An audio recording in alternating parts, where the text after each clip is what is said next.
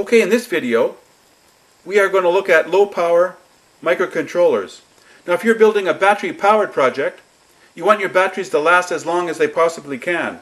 So you have to select low power components, and the first component will be the microcontroller. Now the ARM microcontroller and the ATmega 328P microcontroller, which is on the Arduino Nano, have low power modes, and you can put them in those modes to bring the power consumption down. But the microcontroller that really shines at being a low power microcontroller is the MSP 430, which is made by Texas Instruments. Now this microcontroller is built from the ground up to become a, a true low power microcontroller. And this is the microcontroller here, it comes in a dip package, so it's handy to breadboard. It's a 16-bit CPU, it has 16K of flash, and it has five low power modes. Low power mode 0 to 4. It also has an active mode, that's when everything is enabled. But if you put it into low power mode 4, you could bring the power consumption down to 0.1 microamps. Okay, here's a current versus supply voltage chart for the MSP430 microcontroller in active mode, so all the, all the clocks are enabled. You can see as we increase the supply voltage, the current goes up, and as we increase the clock frequency, the current goes up. So if we're running uh, our microcontroller about 3.3 volts at 12 megahertz, we're going to run it about th 3 milliamps. You can see at 1 megahertz, uh, the power consumption is very low. And if your if speed isn't a concern in your project, you could actually run a, a real-time clock crystal, a 32.768 kilohertz clock, and that will even bring the current consumption even lower. Okay, here's a current consumption versus operating modes for the MSP430. And our, our clock speed is 1 megahertz. So in the active mode, when all the clocks are enabled, and we're running it at 1 megahertz, we're going to be drawing 300 microamps. And as we go through our low power modes, all the way down to low power mode 4, you can see there it's going to go down to 0.1 microamps. Okay, here's a list of internal clocks that are enabled or disabled during the low power modes. You can see low power mode 0, the CPU and the master clock is inactive. And the DCO, that's your digital control oscillator, is available. The SM clock, that's your, your sub main clock, is available. And your A clock, that's your auxiliary clock, is available. As we go down to uh, low power mode 4, you can see all the clocks are disabled. Now low powers mode 0 to 3, we can actually bring it in and out of these low power modes using internal interrupts. But if you go to low power mode 4, where, where all the clocks are disabled, the controller can only be waken up from this mode by an external interrupt. So that's the only difference between the low power modes. The low power mode 4, it has to be awakened by an external interrupt. Okay, here's a block diagram of the internal clocks using the MSP430 microcontroller. If we look at the very top, we can see the low frequency oscillator. That's a 32.768 kilohertz oscillator, and that will give us our A clock. So it's a very low frequency to bring our power consumption down. Now the next two clocks can give us our M clock, which is our main system clock, or a SM clock, which is a subsystem clock. So we have an external oscillator, or, or we have a DCO, a digitally controlled oscillator, which could give us those two clocks.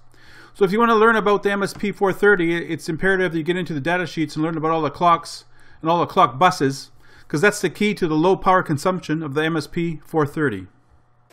Okay, I have my MSP430 microcontroller mounted on my breadboard, and I'm using a low component count configuration. You can see I have an LED connected to one of the GPIO lines of the microcontroller through a current limiting resistor, and I have a pull-up resistor and a capacitor for my reset circuitry. Now I'm powering my microcontroller with 3.3 volts. It's getting that through my FTDI module. That's my USB to serial module, so it's getting us 3.3 volts. I also have the UART of the microcontroller connected up to the FTDI module, which is connected to my computer. So I have a program running and I can gain access into the microcontroller through the serial port. So I can activate the, the LED, I can make it blink. There it's blinking. I can send a command to turn it off. She turns it off. So what I'll do, I'll hook up an ammeter up to pin 1, that's VCC pin of the microcontroller, and run it in its active mode, and we'll, we'll take a current reading. Then I'll put it into the low power mode 4. And we'll take another current reading and we, we could watch the current drop from the active mode into the low power mode 4. Okay, I have my ammeter connected it up to pin 1 of my microcontroller. That's my VCC pin, so we can monitor how much current the microcontroller is drawing. And I got it on my microamp range scale, So we're drawing three 3,788 microamps, which is 3.788 milliamps. So if I turn off the LED, you'll see it drop. So it drops down to 2.459 milliamps. So that's how much the microcontroller is drawing right now, running a little program. So if I put it into, into uh, low power mode 4, we could put it to sleep. And we can see how much it draws. So I'll send a command to put it to sleep. And she goes to sleep with 0.1 microamps. So it's in sleep mode. Now to bring it back, I need to bring it back with an external interrupt. And I have that set up for my keyboard, so if I hit any key on my keyboard, it'll set up an external interrupt and it'll, it'll wake up the microcontroller. So I'll wake it up, I'll give it a I'll give it a key. We're back with the LED on, drawing 3.78 milliamps. So that's how we put it into low power mode. It's very simple with a MSP430 microcontroller, and we could run our battery powered projects. Okay, here's an example of a low power project, which is battery powered. Now the batteries that I like using in my, my low power projects are made by Keeper. This is a lithium battery. It's a 3.5 volt 750 milliamp hour battery and you mount it on a PC board, it's PC board mountable and they'll put pins or 0.3 inch spacing so you can mount it on a Vero board or a breadboard so it's, it's, it's nice for prototyping. Now this product, this low power product, had a 10 year lifespan so this battery powered this circuit for 10 years. So that's an example how we could actually use low power circuitry to, to create a low power product. So I hope this video gave you some ideas how you could actually use MSP430 microcontroller in your low power, battery powered projects.